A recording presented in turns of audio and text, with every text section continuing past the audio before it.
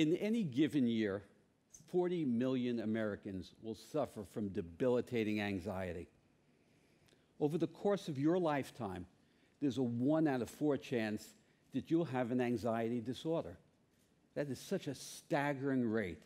It suggests that we have entered into a new realm. We've acclimated to a new norm, one of mass disquiet.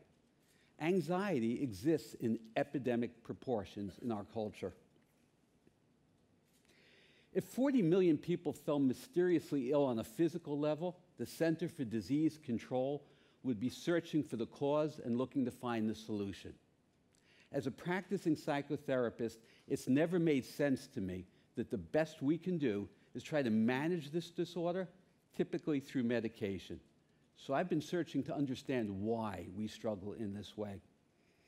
Now, I'm not talking about normal levels of stress, which are typical in our lives. I feel some stress standing here right now. That's the stress of engagement, of being productive and generative, and moving forward. But when stress turns into distress, it impedes, it blocks our ability to live our lives well, with joy, to be present in our relationships. So I've been searching to understand why we are entrenched in this epidemic of anxiety. Here's what I've learned I find that primarily the cause of such anxiety is due to our relationship with our thoughts. You see, when our thoughts are constantly seeking certainty, wanting to know the future in advance, we get anxious, we get fearful. We can't know that future in advance, it's unknowable. But we still continue to search for it. It sets up a, the struggle to actually engage in the flow of life. Rather than experiencing life, we're trying to ward off the uncertain. This induces fear in our lives. Ask yourselves, think to yourself, what causes stress, fear, and anxiety in my life? Does it have something to do with my need to know the future? A number of years ago, I was working with a woman who came to see me around her relationship, her marriage, and her anxiety disorder. She shared with me that she was unhappily married in a loveless marriage. Her husband had refused marriage counseling, and she said they were very disconnected and conflicted. They were both financially independent and they had no children. So I asked her, why do you continue to stay married? She shared that it was around her uncertainty about who would I be if I got divorced? What would my life be like if I were not married? I was incredulous at first because the known in her life was setting up such despair, such anguish, such depression, and such anxiety. But there it was, her need to know who she would be in the future precluded her from moving forward and kept her stagnating in life and stuck in the way she was. The need to know who would I be kept her mired in an unhappy, if not miserable, relationship.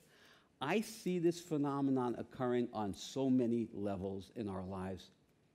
So, how did we get to be this way? How did we get stuck requiring certainty? After all, we seek uncertainty when we go to sports events, movies, read books, but in our personal lives, we try to thwart and block uncertainty.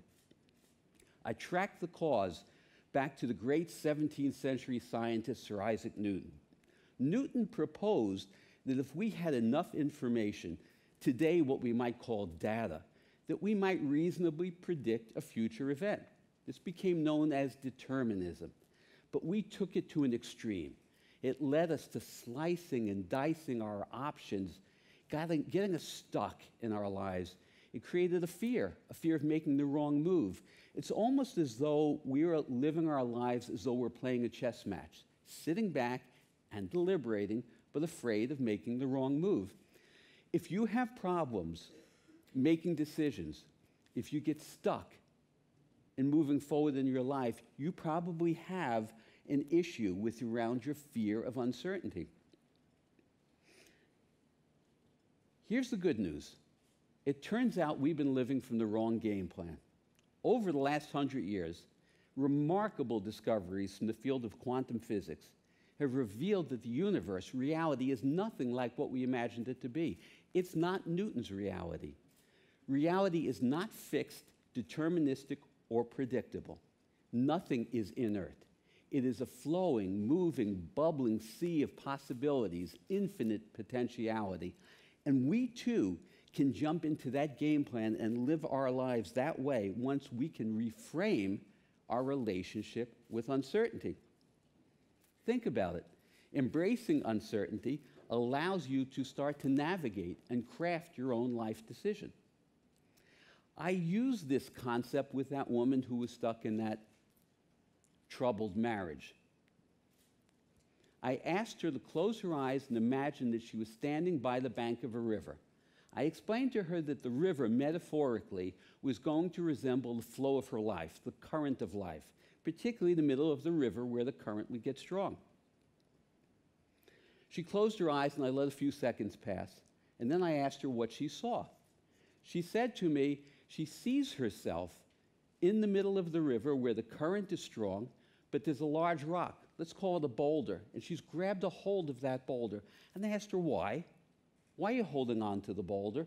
And she said, Well, the river's bending to the right up ahead, and I need to know where it's going to take me. Let's presume that that's going to be her life as a divorced or single woman. She needed to know. I explained to her she needed to let go of that boulder and enter into the flow of life, and that once she did, she'd be free to navigate along the way, but she had to let go of that boulder. How do we accomplish this? How do we have this shift of mind to allow us to make these changes in our lives? First, we have to change our relationship with uncertainty. You know, typically what we fear, we resist. We go like this, we push it away. And when we do that, it emboldens it, it makes it greater, it makes us more anxious. Paradoxically, what we need to do is invite what we fear in.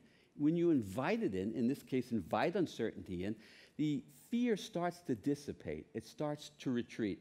Think of it this way if reality is uncertain and we cling to seeking certainty, we're going to dysfunction. We need to change our game plan of how we engage life. Next, think about your relationship with your thoughts. If you still see your thoughts are seeking certainty, you need to notice those thoughts. Try to release them. Essentially, see the thought, but don't become the thought.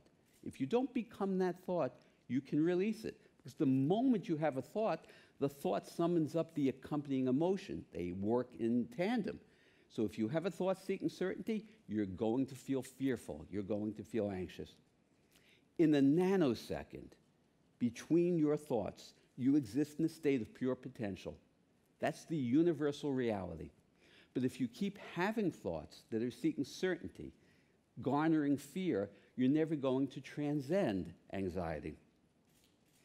The most, report, the most important relationship you will ever have in your life isn't with your parents, it isn't with your children, it's not with your spouse. The relationship that's going to impact you far more than any other relationship you have ever had is with your thoughts. You need to learn to choose them with care. Turn your thoughts into your ally. When you do that, you can begin to write the script of your own life. Think of it this way uncertainty can be the wind in the sail of your life that generates your ability to move forward and experience your life without fear, without anxiety, and with joy, and the ability to be present. Embrace uncertainty, it can be your best friend.